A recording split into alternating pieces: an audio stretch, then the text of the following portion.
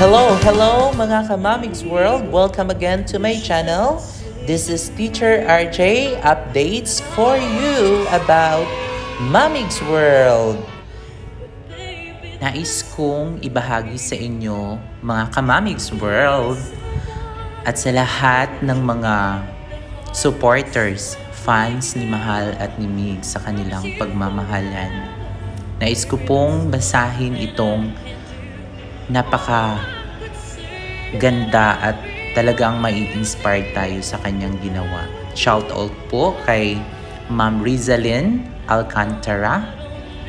Ito po ay aking nakuha sa kanyang page na pinamagatang Sing Sing. Ang Sing Sing para sa dalawang taong may suot. Ito ay talagang espesyal na bagay para sa kanilang buhay. Ang singsing ay isang simbolo ng pagmamahalan ng dalawang tao. Singsing na simbolo ng pangako mo sa isang tao, minamahal mo ng tapat. Mangangako ka sa isang taong mahal mo gamit ang singsing na ibibigay mo.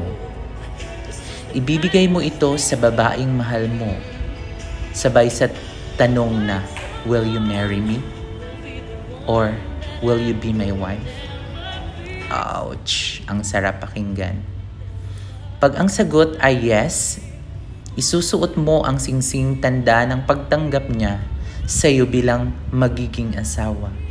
At sa oras na maisuot mo na ito sa kanya, isa na itong tanda na iyong iyo na siya habang buhay. Oh, pagmamayari na pala talaga. Sabay kayong mga ngako gamit ang singsing na yan sa harap ng altar. Yan ang bagay na magbibigkis sa inyong pangako na magmamahalan kayo habang buhay at sa oras na makatanggap ka nito mula sa taong mahal mo, ibig sabihin, engage or kasal ka na. Kaya bunso, isang mahiwagang singsing ang gumugulo sa aming mga isipan kung sakaling tama ang aming iniisip, bunso, mixed emotions ang nararamdaman namin ng sobrang saya na malaman na engaged na kayo ni Cutie Mahal. Walang mapagsidlan ang saya at kilig na nararamdaman naming lahat. At kung sakaling totoo man bunso na engaged na nga kayo ni Ate Mahal, may sagot na ang matagal ng katanungan sa isipan naming lahat. May sagot na ang lahat ng hinala at kutob namin sa inyong dalawa kung ano nga ba kayo sa isa't isa. Noon pa man bunso, ramdam na namin yung mga galawan nyo. Kilos... Mga gumagalaw mo yung tissue. Umay pag kinain ko, magiging ano ako. Tissue. Tissue.